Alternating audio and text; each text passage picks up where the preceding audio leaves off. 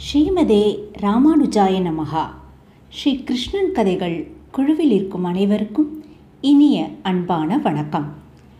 திருமலை வாசனின் சந்நிதியில் அடிக்கப்படும் மணியை தான் விழுங்கியது போன்று கனவு கண்ட தம்பதியர் விளக்கும் எளிய கதை. காஞ்சிபுரத்திற்கு அருகேயுள்ள தூப்புல் கிராமத்தை சேர்ந்தவர்கள் அனந்த சூரி தோதாரம்பா என்கிற தம்பதியர். குழந்தை பாக்கியம் வேண்டி இருவரும் கால்நடையாக திருப்பதி சென்றனர். அன்று இரவு இருவரும் சத்திரத்தில் தங்கியிருந்தபோது திருமலை வாசனின் சந்நிதியில் அடிக்கப்படும் மணியை தான் விழுங்கியது போன்று கனவு கண்டார் தோதாரம்பா அம்மையார். திடுக்கிட்டு கண்விழித்த அவர் தான் கண்ட கனவை கணவரிடம் கூறிக்கொண்டிருந்த அக்கணம் திருமலை சந்நிதியில் ஒரே பரபரப்பு. பூஜை மணியை காணாததால் ஆளுக்கு ஒரு பக்கமாய் அனைவரும் பதட்டத்துடன் தேடிக்கொண்டிருக்க அப்போது அசரீரியாய் ஒரு குரல். அந்த மணியை யாரும் தேட வேண்டாம். ஆம் புரட்டாசி சிரவண நட்சத்திரத்தில் அந்த மணி ஒரு அற்புத மனிதராக வேங்கடநாதன் என்கிற பெயரில் தூப்புல் அனந்தசூரி தோதாரம்பா தம்பதியருக்கு பிறப்பார். அவர் பேச்சு மணிமணியாய் இருக்கும். அசரீரி வாக்குபடி பிறந்த அக்குழந்தையே ஸ்ரீ வேதாந்த தேசிகன். பொய்கை ஆழ்வார் பிறந்த விளக்கொளி பெருமாள் கோயில் பகுதி என்னும் இடத்தில் திருமலை வேங்கடவன் கோயில் மணியின் அம்சமாக பிறந்தவர். ஏழாம் அகவையில் கிடாம்பி அப்புழாரினால் உபநயனம் செய்விக்கப்பட்டதோடு கல்வியும் கற்றவர்.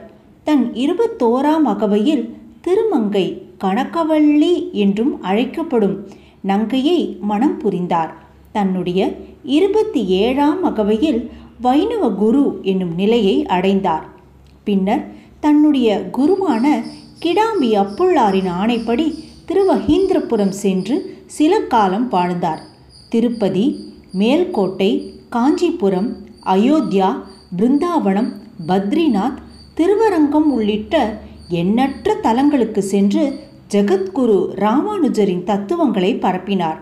இறுதியில் தன் மகனான குமார வரத தேசிகனோடு திருவரங்கம் வந்தவர் இப்புவியில் நூற்றியோரு வருடங்கள் வாழ்ந்தார். வடமொழிக்கு இணையாக தமிழ் மொழியும் தெய்வத்தன்மை உடையது என்று கூறியவர். உபய வேதாந்தம் என்னும் கொள்கையை உருவாக்கி கோயில்களில் வடமொழியோடு ஆழ்வார்களின் திருமொழியும் இடம்பெறுமாறு செய்தவர் இவரே. மாலிகாப்பூர் படையெடுப்பின் போது திருவரங்க கோயிலை காத்தவர்களுள் இவரும் ஒருவர். திருமலையில் வெள்ளிக்கிழமை திருமஞ்சனத்திற்கு முன் தேசிகரின் அடைக்கல பத்து இன்றும் பாடப்பெற்று வருகிறது. திருமலை பெருமான் சன்னதியில் இருந்த கைமணியே மணியான குழந்தையாக அவதரித்ததால் திருமலையில் இன்றும் பூஜை தீபாராதனை நேரங்களில் கூட மணி அடிப்பது இல்லை. மாயவன் சந்நிதியிலும் மணி இல்லை. திருமலையில் பூஜை தீபாராதனை நேரங்களில் மணி அடிப்பதில்லை. திருமலையில் இன்றும் பூஜை தீபாராதனை நேரங்களில் மணி அடிக்காமல் இருப்பது தேசிகனுக்காகவே. சர்வம் ஸ்ரீ கிருஷ்ணார்ப்பணம்